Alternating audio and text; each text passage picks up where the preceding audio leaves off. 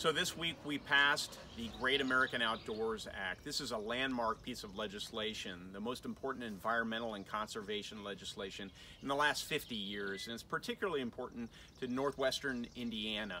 Uh, we have national treasures here from the Indiana Dunes National Park uh, to just the long history of coexistence between nature on one hand and heavy industry on the other. And, and with this money, we'll be able to take care of preventive maintenance, we'll be able to further our conservation objectives, and um, regular Hoosiers, rank and file Hoosiers and other Americans can come here, enjoy Indiana's first national park and the other natural beauties that we have to offer. This is great for our economy.